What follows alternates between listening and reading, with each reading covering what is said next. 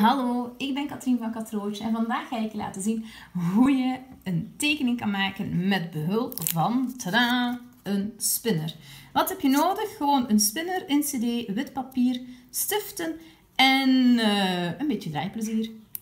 Maak een stukje kleefband vast op je spinner. Bevestig de cd ook op je spinner.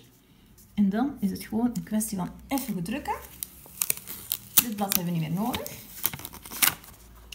Kan aan de kant, maar we hebben een blanco blaadje waarmee we vrolijk aan de slag kunnen. Met mijn ene hand laat ik mijn spinner draaien en gaat ook mijn cd draaien. En met mijn andere hand kan ik een stift op het blad laten tekenen. Je hebt heel weinig nodig.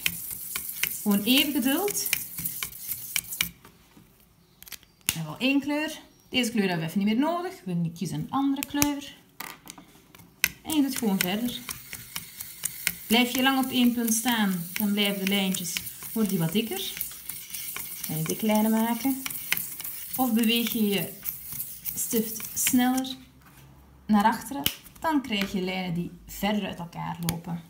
Mijn stiften hebben ook een dikke rand, een dikke stiftpunt. En dan kan je ook gewoon mee tekenen. Elke stift heeft zijn soort effect. En zo kan je eindeloos variëren. Mijn kinderen zijn al uren zoet mee geweest. En ik denk dat ik ook nog wel even zoet kan zijn. Veel plezier met spinnen.